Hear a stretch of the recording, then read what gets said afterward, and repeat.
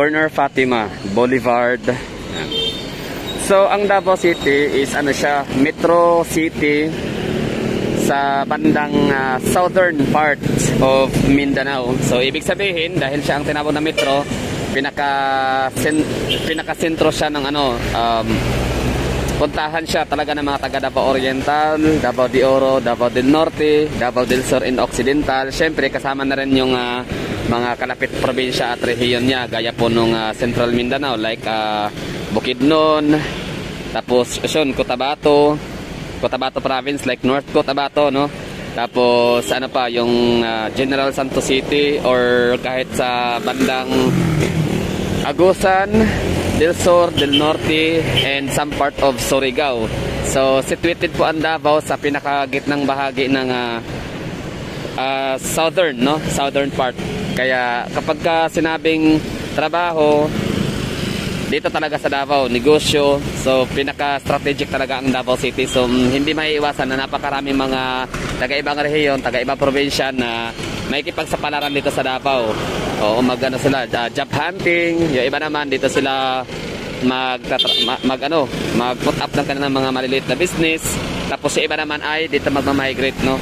Kumbaga, gusto lang mamili ng tirahan or dito na lang uh, gustong mamuhay sa City of Davao. Kaso nga lang, ah, wala silang ah, matitirhan, wala silang ah, nabili pang mga lupa o ari-arian na pwede na maging ah, tirahan. Kaya ang iba, doon muna sila po temporarily sa mga apartment, sa mga condotel, sa mga boarding house and ro- mga ano, mga room for rent sila naka naka-rely muna no temporarily. So ngayon, itong video na to is para po 'yun sa mga naghahanap ng mga boarding house na mula sa pinakamura hanggang pinakamahal. Pero syempre, doon tayo sa pinakamura. Pag mura po yung ano, pinaka cheap na price po ng room for rent or bed spacer, syempre, asahan po talaga natin yung location na hindi talaga siya ganun ka ah, ganda, no? Ibig ko sabihin na maganda pa rin siya kaso nga lang squatter area or ah, informal settlers or sabihin natin ah, medyo remote na, no? Ganitong mga area, ganyan na lugar. So dito na side, ah, 'di ba, Boulevard ito no, sa Piapi pa- particular. So dito na area, parang semi ano na yan diyan, mga informal settler papasok diyan no, looban. Tapos ngayon, kapag meron din dito mga apartment, mga condotel, so mahal naman dito like 5,000, 3,500 something no, tapos di aircon na yung iba. Pero mura lang yun ha, yung 3,500, madalas talaga sa mga ganitong lugar is 5,000 hanggang 10,000 yung mga unit. Kasi ano to eh, parang re- hindi siya residential area, medyo may pagka-commercial shop. Madalas ito mga offices, ah, office rentals, mga gano'n no. Office space. So dito talaga yung plain na mga bahay-bahay. Oo, mga room for rents, bed spacer, tapos may mga apartment din naman. So ngayon, dito po yung way po natin, punta tayo. So meron tayong pupuntahan, eh, sa sightseeing po natin yung kanilang ah, 1,500 pesos na kwarto hanggang 2,500. So tara, tawid na tayo dito. So expected po yan ha, kapag kamura, 1,500 to 2,500. Huwag na po kayong mag-expect na ah, ganun ka ganda yung location. Yung location itself like ah, bahain ba siya? Siya ba ay ah, marami bang bahay? Safe ba siya sa sunog, no? Ah, so, yun po yung ano, yun po talaga yung madalas na uh, kinakonsider po natin kapag naghahanap po tayo ng mauupahan na kwarto. Grabe oh, ang bilis lang matapos itong ano kalsada. Parang kailan lang to ginagawa, 'di ba? Makikita niyo sa vlog natin na ginagawa pa lang to. Lubak-lubak pa lang. Tapos bahain. So ngayon, mas ah, elevated na siya. Tapos yun, simentado na. Yun o, so Purok 1, hindi ko alam kung ito na ba yung sinasabi niya na ah, Santa Cruz Chapel. Ang kanya kasing guide is sasakay na tayo na disikad, no, padjak, ganun, pedicab. Pero syempre, mas trip natin maglakad para makita natin yung lugar. Grabe ang bilis oh. Naalala nyo sa mga vlog ko andyan sa aking ah, description. Napaka ano lang nito. Napaka rough road. Tapos under construction. Pero ang bilis oh. Tapos kaagad. Di ba? Kidlat bilis tong Davao talaga gagawa ng mga proyekto no. Particular sa mga kalsada. Naya sa dapit ang ano nay, ah, chapel sa Santa Cruz.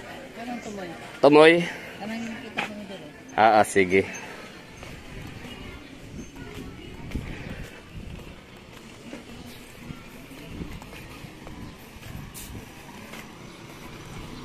O, diba? So ito yung uh, hitsura ng mga lugar kung saan ang presyo kung, kung mura ang ano, mura ang kwarto na hinahanap po ninyo for as low as 1,500 hanggang uh, 2,500 to 3K.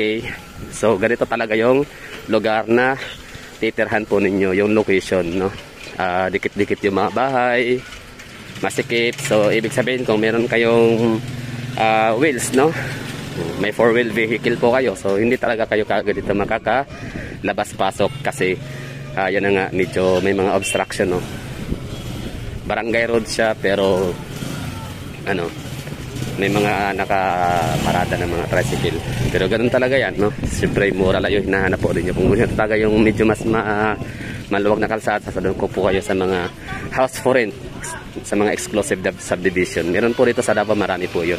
Pero ngayon, i-feature lang po muna natin yung mga murang boarding house. Dito na area, medyo mas maganda pa to ng malawak pa. Ito.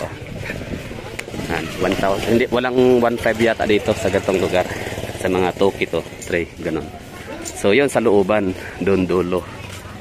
Ay ba? Pasikip na ng pasikip. Malapit na sa dagat yan.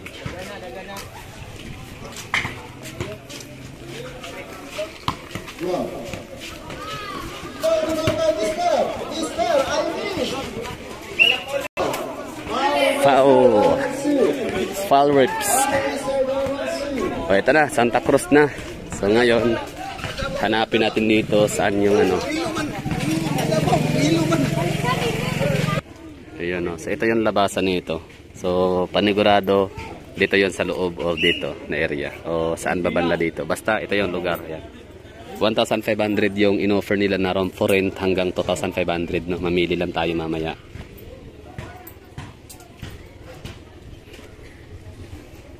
Maganda pa rin naman, peaceful. Ayun na si madam. Okay, no? So, dito na tayo. Sinundo tayo ng ah, may-ari ba to or caretaker. Kamu tag-iya, te? Tag-iya? Ayan, so, pasok tayo dito. Ang available po nila is 1,500 tsaka 2,500. So, tingnan natin. Looban siya, no? So, walkway lang talaga siya.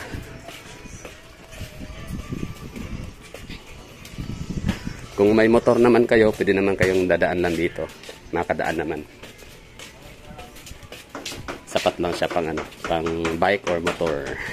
Yun, so ito na. So, medyo elevated sila dito na area. Ibig sabihin, prefer talaga to kapag ka nabaha. Walay baha darete. Ay, nice one. Di ba? So, ito siya is, ano siya ha, preferably sa mga naghahanap ng um, budget meal for as low as 1,500 pesos. Nice. Tapos meron pa silang pop free TV para sa mga ano, uh, renters. Yun. So, mauna na siya ang 1,500. Oh, nice siya rin dot. Ah, mo nito 5 sorry. So asa ang 1.5? Na na may kuan. Pwede matanaw unta. Na na may nagpuyo. So kung kani siya 2.5, mm, wait lang ha. So ito yung ano ha. Tingnan natin dito. So hindi pa siya safe sa dengue fever no. Sa dengue na lang mo kasi wala pa siyang ah, net. Mosquito net.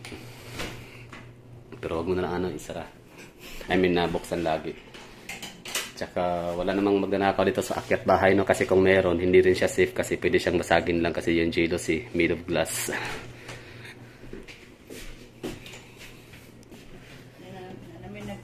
Oh, sige lang eh ano na nato tay tan na nato ang 15 kung sa itsura. Ma-compare na to kung sa kalahian sa 25 ug 15. Kaso nga nung 15 lang man siya. Nga murag hapit-hapit ang makadako. Ang bot niya lang. Ah, caretaker ka. 15 nya 3 ah, 25. Yan na ang ano ato tanan nga na mga bintana sa gawas. Oh. To 15 to dito no. Tapos sa kabila parang wala namang pinagkaiba. Tapos meron naman siyang bintana. So inisip ko kaya siya mas mura ng ah, 1,000 kasi wala siyang bintana. Meron naman, no? Kasi bawal naman kasi magpapa-open ng walang bintana. Requirement talaga yan ng ano, city engineer office. So house rules, no? Always unplug, no cooking. So ang available is, pila ka itong ano te? 1.5 or 2.5 na available mo na siya, no? Dublin. Asa man mo ano, manampay?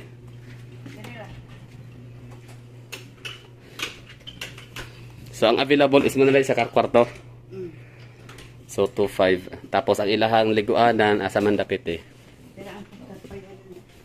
Wow, nice. Okay, kay Dre manampay, oy. Kaysa dito sa nakuha na itong isa ka kwarto. Okay, so nice ilahang sampayan.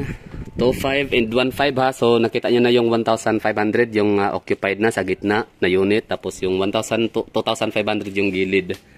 Yung una natin pinasukan. So ito yung pangalawang ah, sampayan. Ayan o.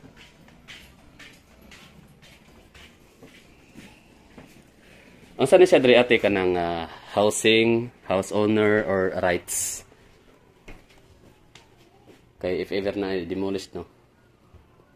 Di pa naman demolish diri ah. Di pa.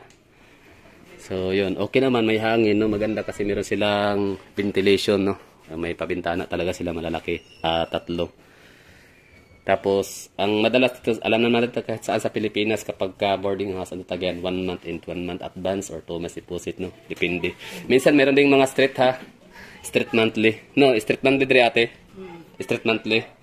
So maganda to para sa mga kakasimula pala or mga nagja-job hunting, no? Street monthly lang siya. Kaso nga lang yung available nila is ah, 1,000 2,500 na lang. Yung 1,500 wala na. Sayang, sinlaki pa naman sana yung ano 1,500 tsaka 2,500. Oh, so affordable affordable lang po siya, mura lang. Kaso nga lang yung lugar para sa mga ayaw ng mga masisikip, ah, hindi kayo pwede rito. Oh, ito yung liguan nila. Check natin. May tao yata? Wala. Wala. Wala. Asa? Ah, kami. Iyon. So, okay na na eh. Oh, 1.5, 2.5, di ba? Hmm, kaysa wala kay matulugan, no? Kung mag-hotel ka, mahal ang hotel. 100, 250 pesos doon sa may, ano, Timorve Suites. Ano yon 12 hours, so, ubas pera mo doon. Yung 2.5. So, dito may lutuan sila. Tapos malinis naman sa loob, oh. Malinis to. Compare sa iba. Tapos hanggang second floor lang sila. Tapos presko ha, kasi gawa siya sa ano sa plywood, hindi siya gawa sa yung parang metal. Tapos may hangin talaga, isa talaga sa pinaka-importante na maghahanap tayo ng uh, maupahang kwarto. Kailangan ventilated talaga siya dapat para yung hangin na presko yung makakapasok. So sabi ni ate, safe naman daw dito kapag ka na ulan. So walang baha. Oh, tsaka hindi naman talaga bahain ang Davao, nabahaman ang Davao pero napakadali lang mahupa. Tapos yun tiha, ah, meron kasi nag-request akin na i-vlog ko yung ano, yung rumba. So available is 2.5 na lang. So yun. Ako mismo sa sarili ko, masasabi ko na okay naman siya, malapit lang, walking distance lang ha. Sabi ni ate is sasakay ko daw ng ano ng padjak mula sa highway pero hindi ko na ginawa yun. Kasi nilakad ko na lang, malapit lang. Nasa mga 2 minutes na walking distance mula sa highway sa Meros Big Shop sa Maya Corner Fatima. Tapos okay naman ang lugar, safe naman. Sa, dapat talaga is ano talaga siya safe, safe na lugar no. So wala kayong ah, problema. So 2.5 na lang yung available. Sa to si wala na yung 1,500 pero yun na lang no for today's video is mag ah, anong itsura ng 1,500 to 2,500 na room. So ito na yun. Tapos diretsuhin natin sa unahan anong location diyan. Napa na yung mga balay-balay daghan. Ako na tanawon kung dagat, coastal. Dili na makita napadiran mo. napadiran na. Sige tiha. So, siyempre, kasama talaga sa location. Ah, example, ako kasi dati pag nang- naghahanap ako ng mga room for rent, yung mga inuupahan ko. Example, Manila. Sa QC dati, no?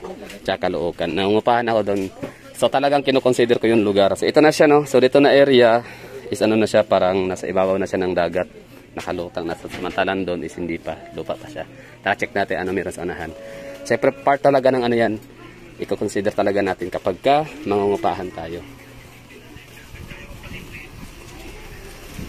Sa Manila, ang pinakahuli kong ano doon, upa is 1,800 pesos. So, dati pa yun ha, 2020. Dahil ah, yun na nga, inayos yung, nirenovate yung bahay ng tiyahin ko sa may Caloocan. Kaya ayaw kong madisturbo no, kasi umaga pa lang, alas 7, eh, may mga nagpupukpukan na ng martilyo.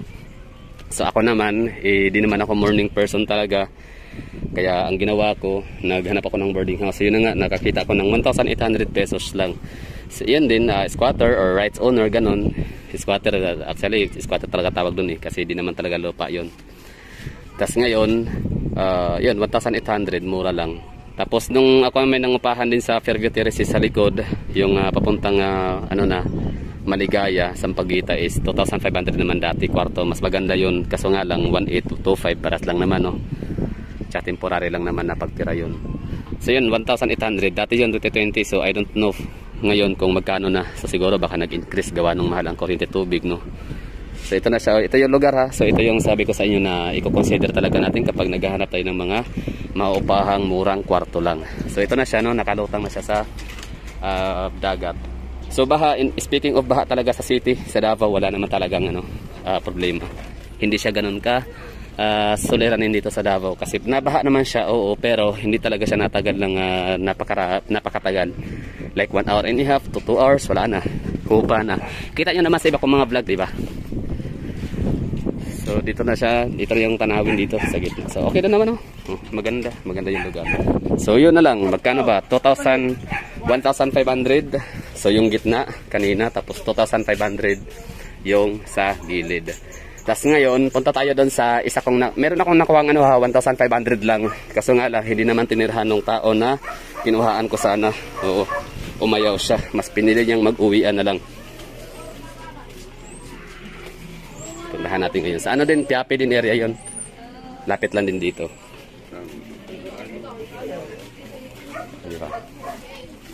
So, dito na side, ano na siya, elevated na.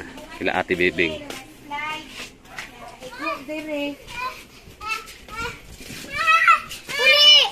Sige, Tibing ha. Thank you.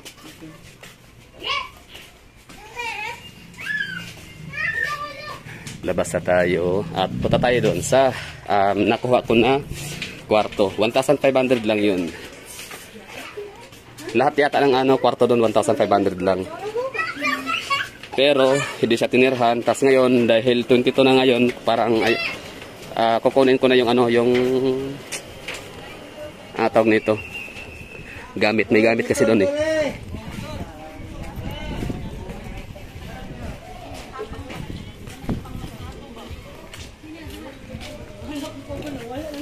Sa sa. Kaya siya tinawag na Boulevard. Correct me if I'm wrong, no? Lahat ng mga pangalang Boulevard is sa gilid ng dagat talaga yan. Example, Rojas Boulevard, doon sa may Manila, di ba? Pag sinabing Boulevard, postal, no? Gilid ng dagat. So, dito sa Davao, Boulevard. So, lahat ng ah, Boulevard area is gilid talaga ng dagat yan. Ito yung ano ha, ito yung mga tanawin. Ito yung ah, environment sa mga paupahan na 1,500 hanggang 2,500. Kung ganun lang yung budget po ninyo para sa inyong ah, shelter, yun lang afford ninyo 1,500 to 2,500. So pakaasahan ganito talaga yung magiging setup niyan. Hindi talaga siya ah, pangmalakasan, pabunggahan na lugar. So dito na yung sa atin ha. Yan, liko lang tayo.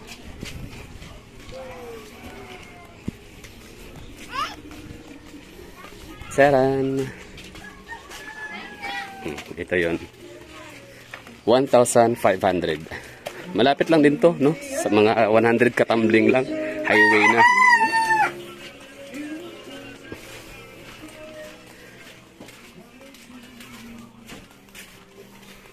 Ano sa tingin niyo? Ano mga comment niyo?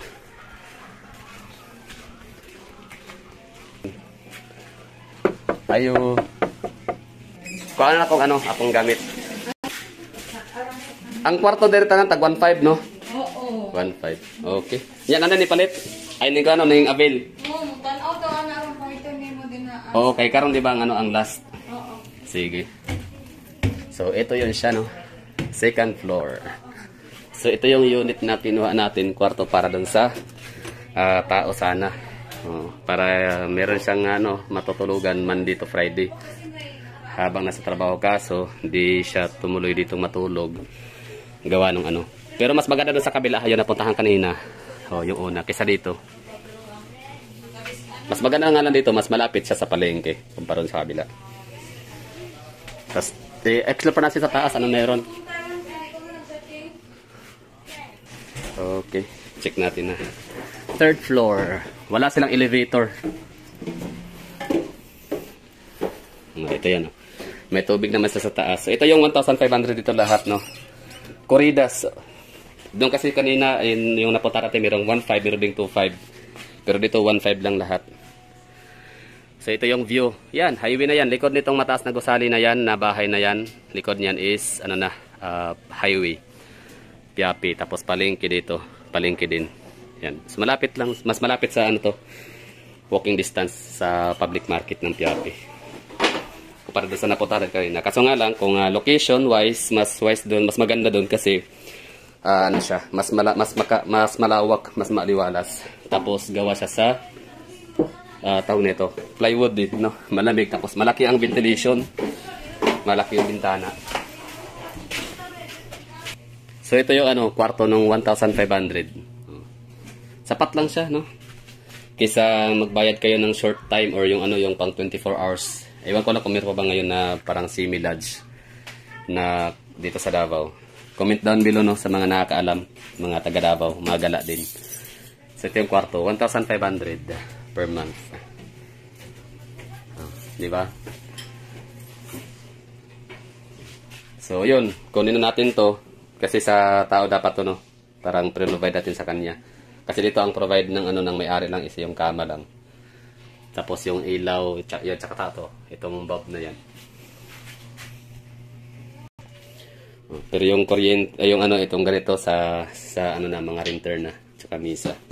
Yun lang, no? So, ano sa tingin niya? Maganda ba? Ah, okay ba ang 1,500? Para sa akin, okay na yun. Kaysa wala. Kaysa doon ka matulog sa uh, 10 pesos per per night dun sa may uh, terminal ng Ecoland or sa mga police station or sa mga uh, fire station. So, okay na to kumpara sa wala. Di ba? O, kaso nga lang, uh, hindi to siya available na gawa nung may titingin na mamaya sa panigurado. Mabilis lang maano, mabilis lang talagang ma-avail yung mga uh, room for rents dito sa Davao. Gawa nga nung ano, sabi ko sa inyo, napakarami, na, na, nasa ano, pinakasentro talaga yung Davao, no? Metro Davao sa rehiyon ng uh, southern part of Mindanao. So, ibig sabihin, mga taga Surigao, Agusan, Cotabato, Bukidnon, dito yan sila sa Davao mag uh, may kipagsapalaran. Job hunting, lahat-lahat, no? So yun lang, maraming salamat and bye-bye.